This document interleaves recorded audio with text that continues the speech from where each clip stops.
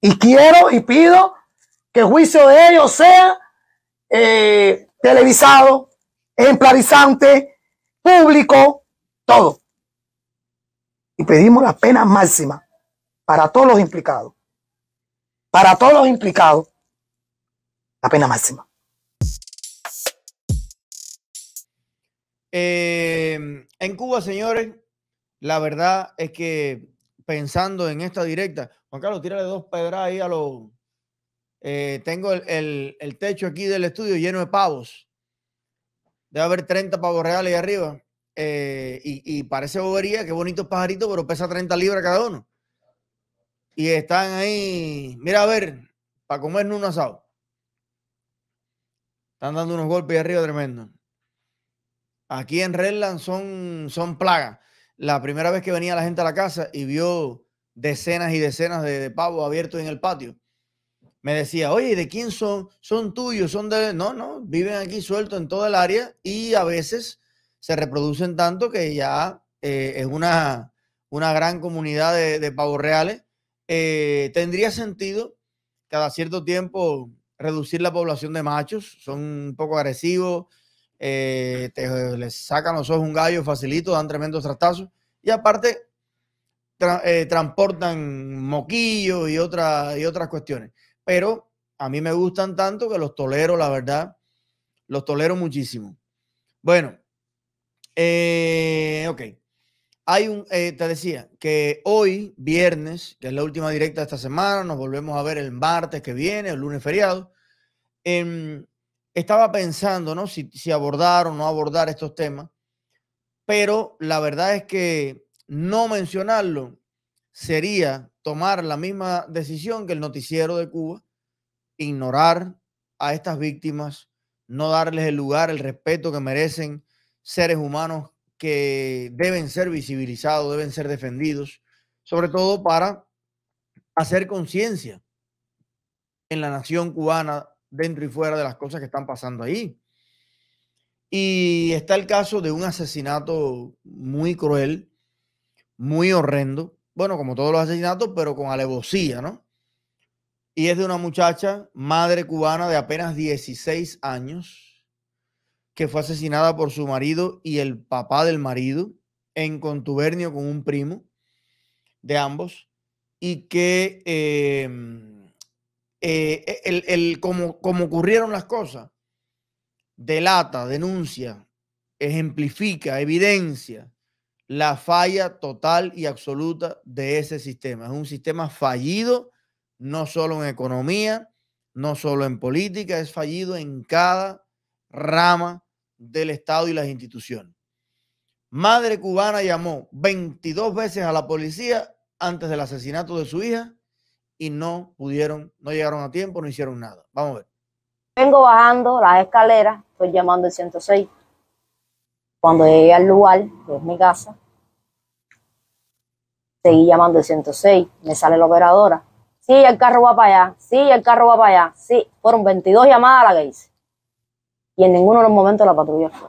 A las 4 menos 5 de la mañana me pongo en la puerta de Aguilera me sale un, oficial, yo le digo, mi amor, para hacer una denuncia, acaba de pasar, le hago la historia, y él me dice, yo no te garantizo de que tú puedas hacer la denuncia ahora mismo, porque tengo muchos casos adelante de arma blanca, de droga, tú te, saldrás aquí 9, 10 de la mañana, digo, no, no, yo no puedo esperar, porque él se la llevó, yo no sé dónde está, ni en qué condiciones está.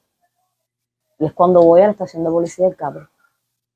Cuando llego a la estación de policía, planteo mi problema y un oficial que había entrado de guardia de momento me dice, ven que yo te voy a coger la, la demanda. Yo mismo te voy a redactar, pero tienes que esperar el carro de la guardia operativa para que te lleven para Aguilera.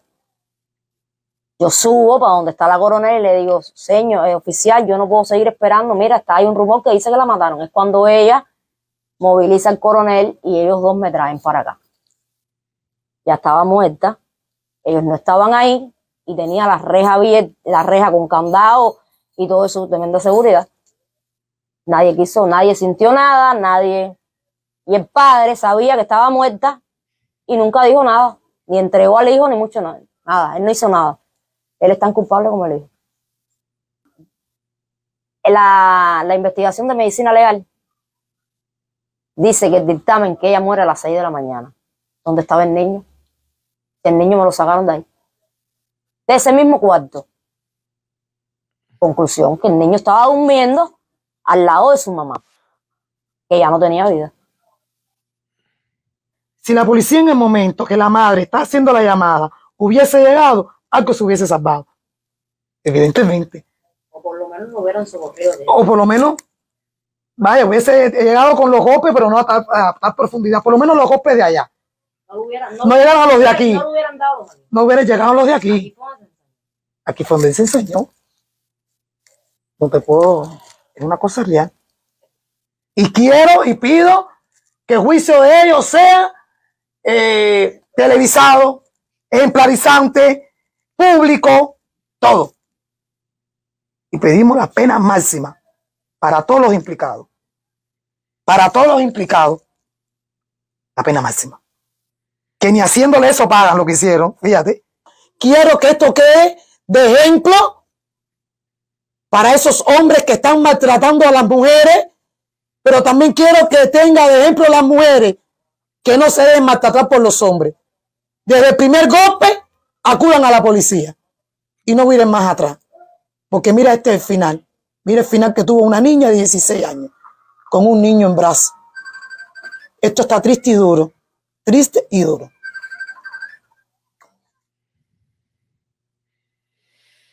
Bueno, me esto. Hay un video que no lo voy a poner porque es de hecho demasiado gráfico cómo describen este horrendo crimen.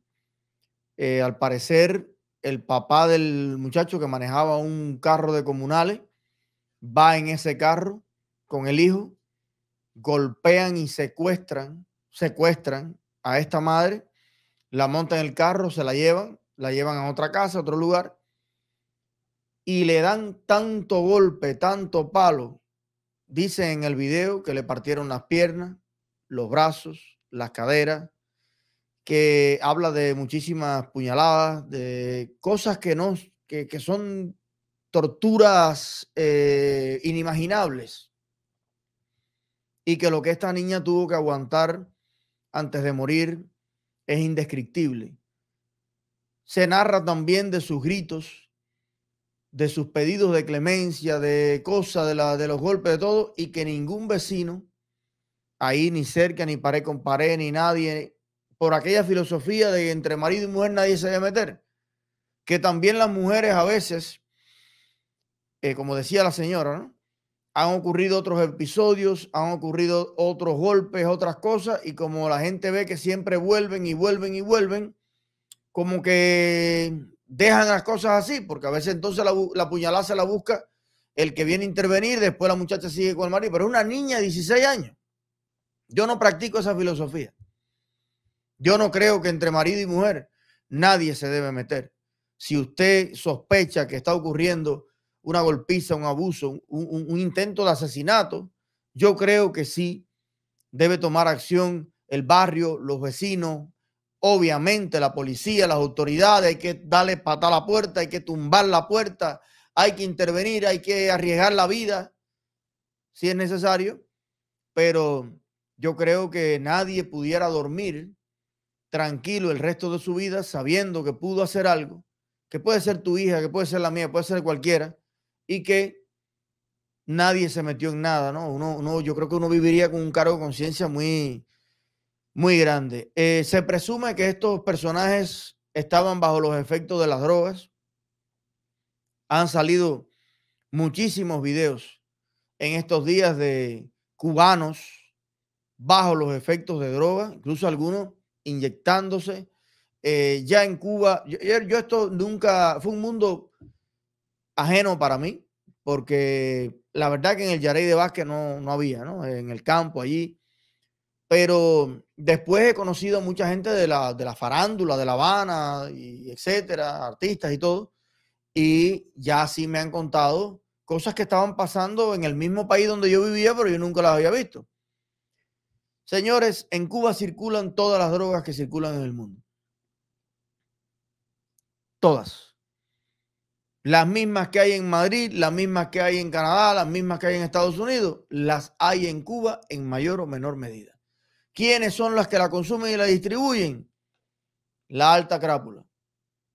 Esos nombres, esos carnet que pasan por el aeropuerto como si nada, esos maletines que nunca se revisan, esos contenedores que hoy está el hijo del general, el otro del en Cuba el tráfico de drogas está en manos de personas cercanas a la tiranía, al gobierno, a los grandes jerarcas. En vez de ser de abajo hacia arriba, drena de arriba hacia abajo.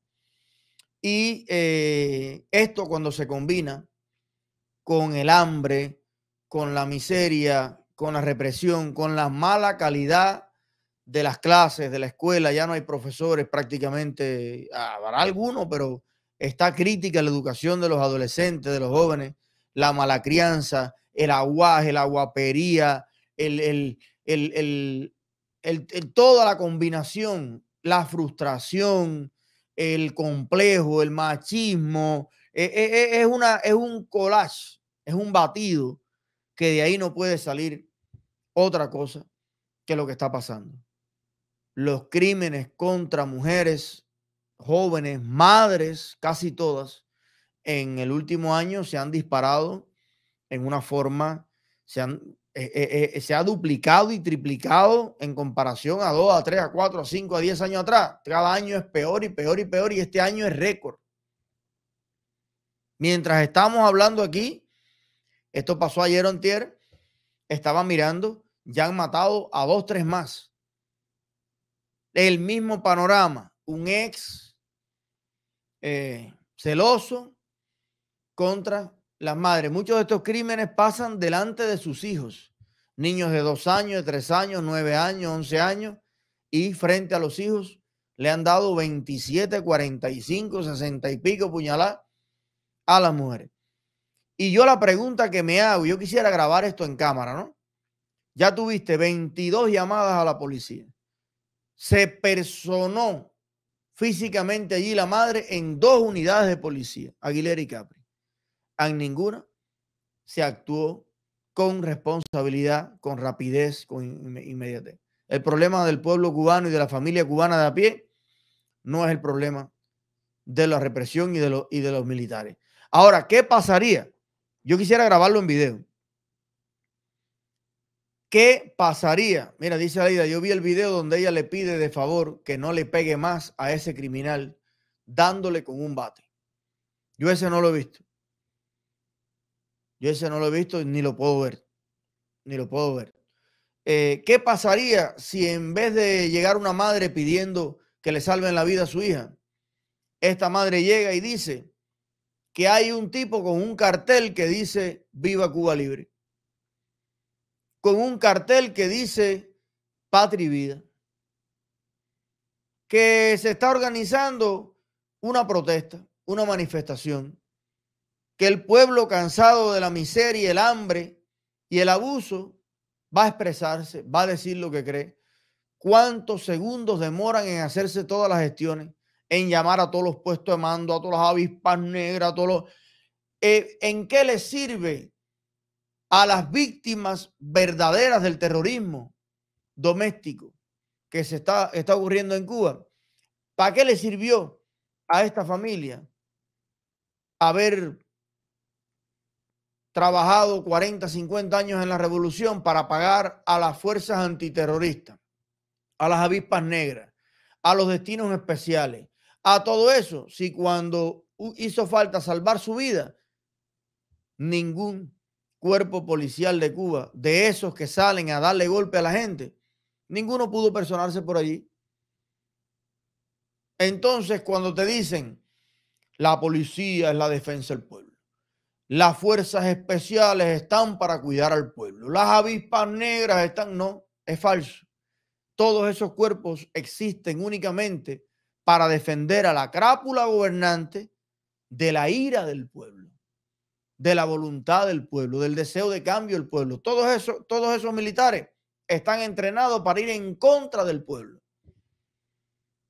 no para defenderlo.